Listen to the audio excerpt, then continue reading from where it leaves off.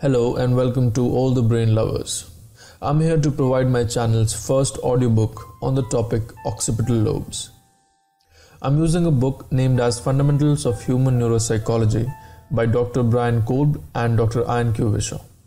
I found this book very useful in terms of explanation and the type of words used. This is the first part of the occipital lobe series.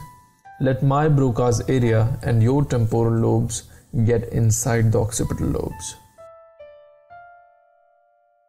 Chapter 13 The Occipital Lobes PM, a colonel in the British Army who fought in North Africa during the Second World War, was struck by a bullet that went through the back of his brain.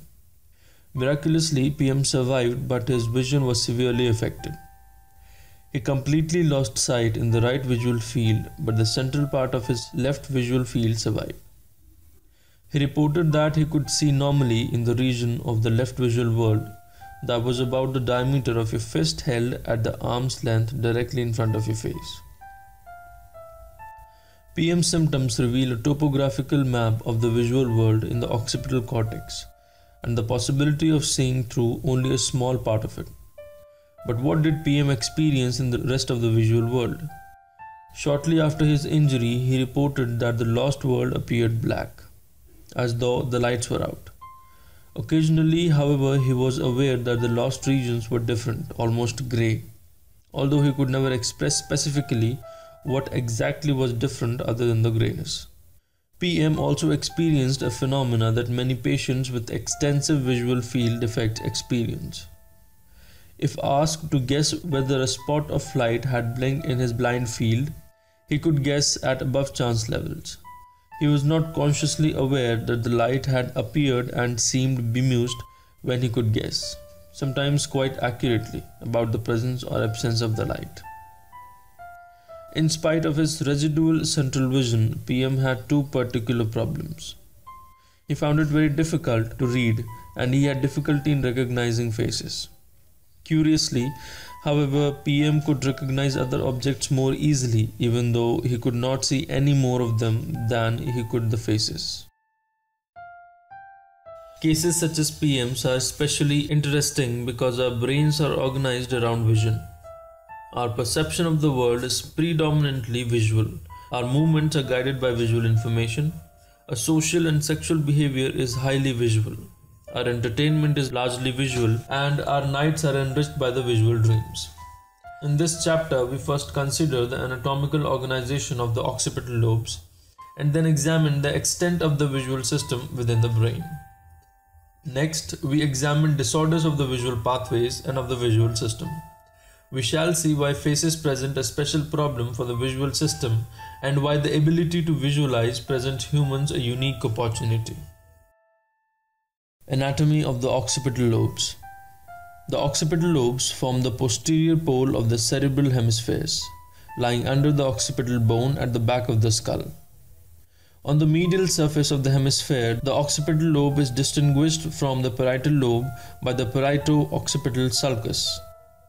No clear landmarks separate the occipital cortex from the temporal or the parietal cortex on the lateral surface of the hemisphere.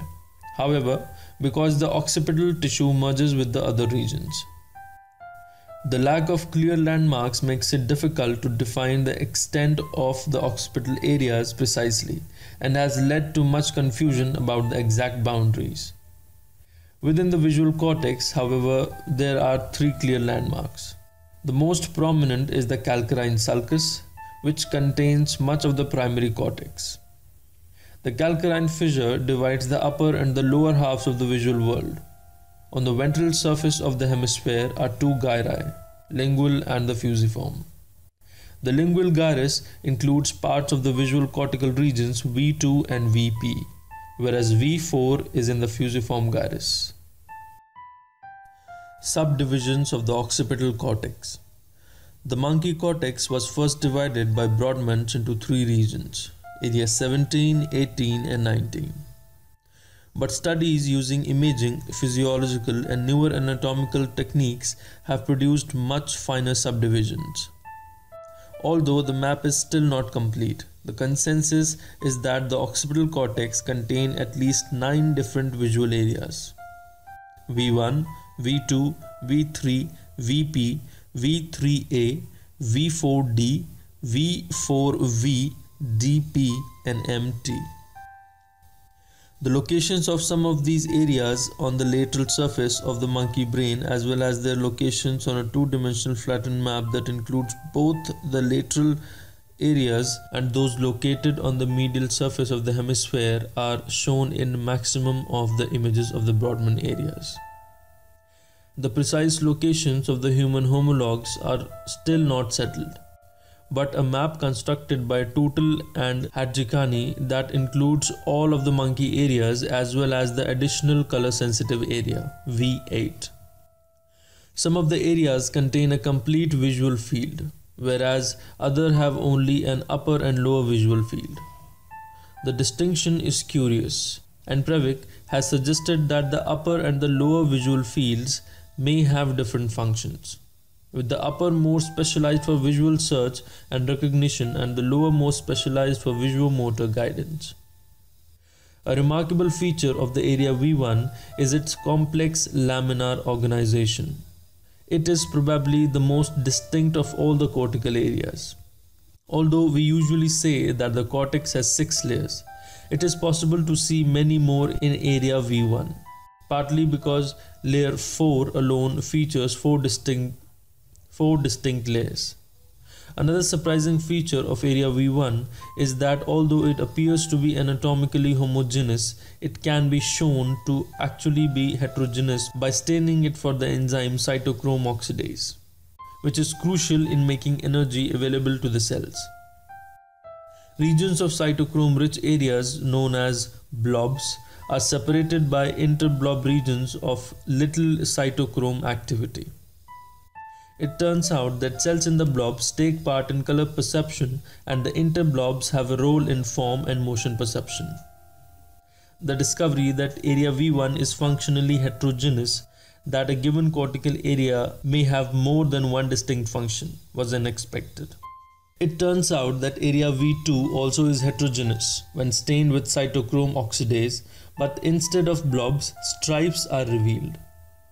One type, the thin stripe, takes part in color perception. Two other types known as thick stripes and pale stripes have role in form and motion perception. Thus, we see that heterogeneity of function observed in area V1 representing color, form and motion is presented in area V2, although it is organized in a different way. The distribution of color function across much of the occipital cortex and beyond, that is, areas V1, V2, V4, and V8, is important because until recently the perception of form or movement was believed to be colorblind. It has now become clear that the color vision is integral to the analysis of the position, depth, motion, and structure of the objects. A key point here is that although the relative amount of color processing certainly varies across occipital regions, with the area V4 having color processing as its major functions. The processing of color related information does more than simply allow us to tell red from green. The appreciation of color also enriches our capacity to detect motion, depth, and position. In the absence of significant color analysis, dogs and cats thus not only see an essentially black and white world but have reduced visual capacities more generally as well. An example of the advantage of color vision can be seen in the type of photoreceptors in primates. Sumner and Mollon found that color system of primates is optimized for differentiating edible fruits from a background of leaves. This ability to differentiate is an important advantage when having to select edible fruits from a complex scene and is especially important when the fruits are partly occluded by leaves, which is fairly common. In fact, color provides important information for object recognition in such cases. A partly occluded yellow banana is quickly seen, whereas a grey banana would be difficult to detect in a black and white scene. Connections of the visual cortex. By the late 90s, the consensus was that the visual cortex is hierarchically organized, with the visual information proceeding from area 17 to area 18 and to the area 19. Each visual area was thought to provide some sort of elaboration on the processing of the preceding area. The strictly hierarchical view is now considered too simple and has been replaced by the notion of a distributed hierarchical process with multiple parallel and interconnecting pathways at each level. There is still a hierarchy for vision, but with separate functions, the details of all the connections between the occipital areas and from them to the parietal, temporal, and frontal regions are bewildering, but it is possible to extract a few simple principles, and they are as following. V1 the striate cortex. V1 is the primary vision area. It receives the largest input from the lateral geniculate nucleus of the thalamus and it projects to all the other occipital regions. V1 is the first processing level in the hierarchy. Second, V2. V2 also projects to all the other occipital regions. V2 is the second level. Third, after V2, three distinct parallel pathways emerge en route to the parietal cortex, superior temporal sulcus, and inferior temporal cortex for further processing. As we shall see in more detail shortly, the parietal pathway or the dorsal stream has a role in the visual guidance of movement. And the inferior temporal pathway or the ventral stream is concerned with the object's perception, including color. The middle pathway along the superior temporal sulcus is probably important in visuospatial functions. This is the end of today's session. Today we covered the introduction of the occipital lobes, anatomy of the occipital lobes, subdivisions of the occipital cortex, and connections of the visual cortex.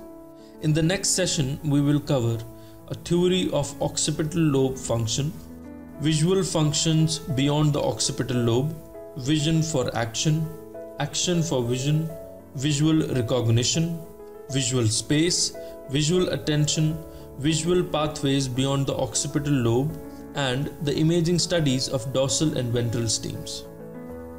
If you want an audiobook of your choice, put that topic in the comment section. I'd love to make the audiobook on that topic. See you soon.